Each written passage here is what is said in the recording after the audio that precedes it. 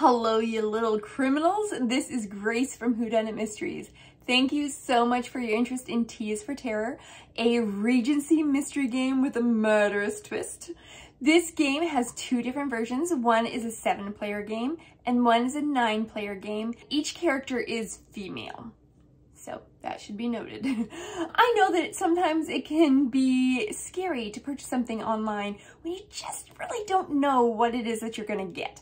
So I'm here to give you a quick run through about what you will be able to download when you purchase the game. I will go over the hosting packet and one of the character packets. Most of this game can be done completely digitally.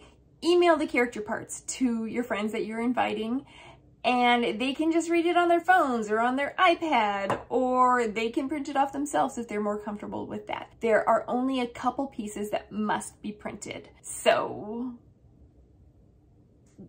let's do it. No matter what game of ours you buy, they'll each contain some basic pieces that require printing if you choose to use them. There is note paper so people can take notes, name tags that can be printed as is or on an Avery name tag, voting cards so people can vote on the criminal and nominate people for awards, and then the awards. The only other part in the hosting packet that must be printed is memory jogger number two. For gameplay, it does need to be printed single-sided, and before the game, you'll want to cut them out along the little dotted lines and have them ready to be distributed at the appropriate time.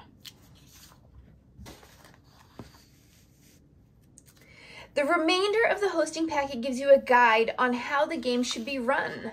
This includes how and when to assign players,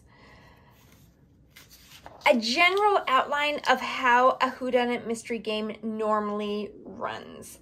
But Tea is for Terror has some variations from the general format of a whodunit mystery game.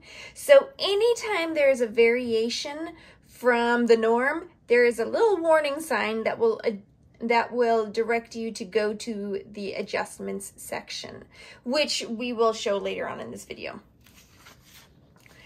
There is also a link to a Tea is for Terror Pinterest board. We have already done the research to find decorations and food ideas for you, so you don't have to worry about that. The hosting packet provides a description of each character's unique traits so that you can assign the character parts to the people you think could embody those characters' traits. And then we have the party day adjustments. So steps six, seven, and eight need to be adjusted. So these are the things that are unique to the hosting packet. After that, the packet gives you some documents that are included in the character packets as well. So we've got the cast of characters, this story.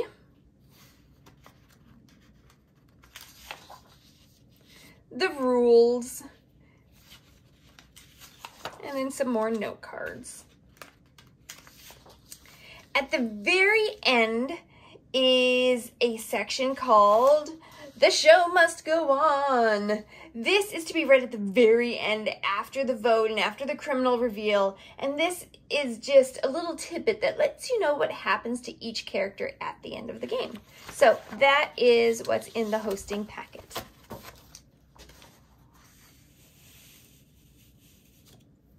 The character packet contains many of the same documents, such as the rules, the cast of characters, the storyline.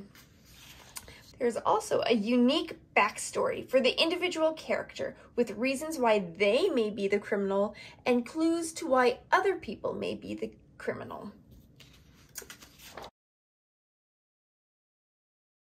At the end of the backstory, it gives personality and acting tips, a link to the Pinterest page so they can get ideas for costuming also. And then there is a question to ask to in order to get the game started if, if there's a little bit of a, a slow start. Most of the characters in this game have received threatening notes. So if your character received a threatening note, there is a copy of the note. After that note, there is a stop sign saying do not read past this before the game. And then once the host tells you that you can read past it, there is a memory jogger, the very first memory jogger. And that is what is in a character packet. All right, so I hope that answers some of your questions about Tea is for Terror, and I hope you have a good time playing it. If you've made it this far, I hope you don't mind indulging me with a little bit of editorializing about Tea is for Terror. This is one of my favorite games and it holds a really special place in my heart.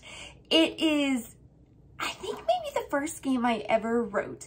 And just like my dad wrote these games for me to play as a teenager, I wrote this game for my daughter for her 14th birthday. And so it's really special to me. I hope you have fun and have a wonderful day. Thanks.